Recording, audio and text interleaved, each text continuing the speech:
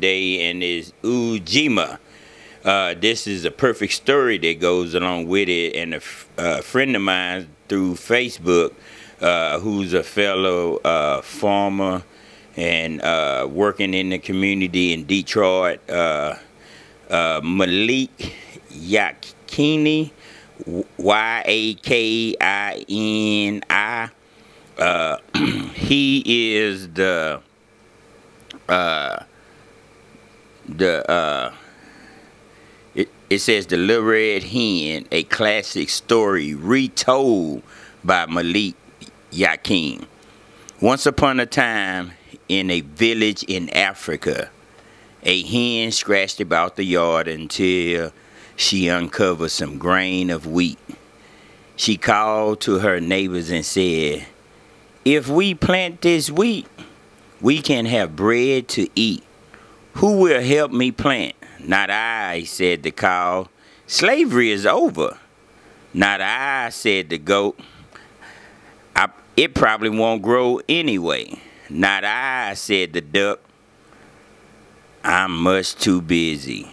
Not I, said the lamb. I don't do dirt. Then I will uh, then I will, said the little red hen, and she did. After a few uh, months, the wheat grew tall, reaping uh, into golden grain, reaching up to the sun beneficial insects and beautiful birds began to return to the village. The little red hen again called to her neighbors, Who will help me harvest the wheat? Not I, said the cow, my stomach ache. Not I, said the goat, I don't really get involved with groups. Not I, said the duck, I have the wheat allergy. Not I, said the lamb. My favorite rapper, Young Shepherd, is performing in a free concert this afternoon. Then I will harvest it myself, said the little red hen, and she did. The hen carried the wheat back to the house and asked her neighbors, Who will help me grind the wheat into flour? Not I, said the cow. I already have two jobs. Not I, said the goat. I don't have anyone to watch my kids. Not I, said the duck. I'm trying to get I'm trying to get paid. Not I, said the lamb. You running game, hen. You're trying to pull wool over my eyes. Then I will grind it myself, said the little red hen, and she did. After resting for the ex exhausting work of grinding the grain, the little red hen made one last attempt to solicit help of her neighbors. Who will help me make flour into dough and bake the bread? She was met with the usual literally excuses. Not I, said the cow, chewing uh, turtle, taking all the energy out of me. Not I, said the goat, my kids have music lessons. Not I, said the duck, my cousin Donald and his family are visiting from out of town. Not I, said the lamb, I am studying for a real estate license.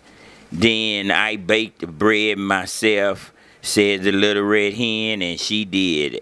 As the aroma of fresh bread drifted out into the village, the little red hen neighbors began to gain to gather outside of her door. Who will help me eat this bread? asked the little red hen. I will, said the cow. I will, said the goat. I will, said the duck. I will, said the lamb. No, you won't, said the little red hen. None of you practice Ujima, collective work and responsibility. However, my beloved neighbors, I didn't grind all the grain. I started a seed bank to have wheat for next year. Here's a handful of grain for each of you. And she sent them packing. As the little red hen sat down to enjoy her still warm bread with honey from the beehive that her friend Abby maintained at a local farm, the cow, the goat, the duck, the lamb called a meeting to form an organic, sustainable farming collective. The next uh, season, they all worked together, planting, harvesting, and grinding their wheat and baked bread. There was plenty for all.